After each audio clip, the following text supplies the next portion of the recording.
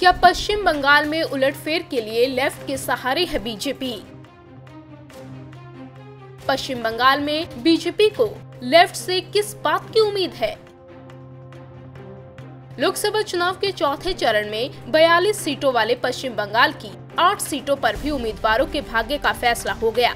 2016 के विधानसभा चुनाव के बाद प्रदेश के बदलते समीकरणों के लिहाज से ये आठ सीटें खासा अहम है। इस बार यहाँ टीएमसी और बीजेपी में ज़बरदस्त मुकाबला देखने को मिल रहा है। टीएमसी प्रमुख जहाँ सभी सीटों पर जीत का दावा कर रही है तो वहीं बीजेपी भी तेईस सीटों के अपने लक्ष्य को हासिल करने के लिए लेफ़्ट की ओर देख रही है। दरअसल बीजेपी को प्रदेश में अपने बढ़े हुए वोट शेयर के चलते काफ़ी उम्मीदें हैं। जिन आठ सीटों पर वोटिंग हुई है, उनमें से छह सीटों पर बीजेपी का वोट शेयर 12 से 17 फ़ीसदी तक रहा है। हालाँकि इसके बदौलत त्रिकोणीय मुकाबले में बीजेपी को सीटों के लिहाज से बड़ा फ़ायदा नहीं हुआ। 2014 के चुनावों में लेफ़्ट पार्टी के वोट बढ़े नहीं, बल्कि एक बड़ा धड़ा लेफ़्ट के वोट का बीजेपी को चला गया। लेफ़्ट पार्टियों को जहाँ 12.5 फ़ीसदी वोट शेयर का नुकसान हुआ तो बीजेपी के वोट शेयर को 12 फ़ीसदी तक की वृद्धि दर्ज की गई। बीजेपी और टीएमसी दोनों को वोटों के पोलराइज होने की उम्मीद है।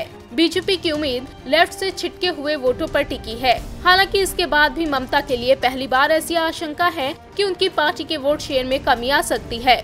उधर ममता भी अपनी जीत का दावा विपक्ष के वोटों में बंटवारे की संभावना के चलते कर रही हैं। उन्हें लग रहा है कि बीजेपी, सीपीएम और कांग्रेस में वोट बंटने के चलते टीएमसी को फ़ायदा होगा। सियासी महत्वाकांक्षा के लिहाज से बंगाल में बीजेपी और टीएमसी दोनों ही बड़ी जीत दर्ज करने के लिए हर संभव कोशिश कर रहे हैं।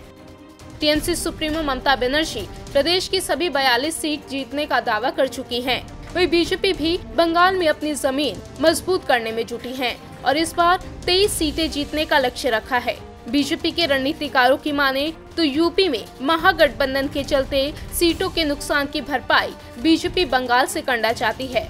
इसके लिए बीजेपी यहाँ कोई कोर कसर नहीं छोड़ना चाहती।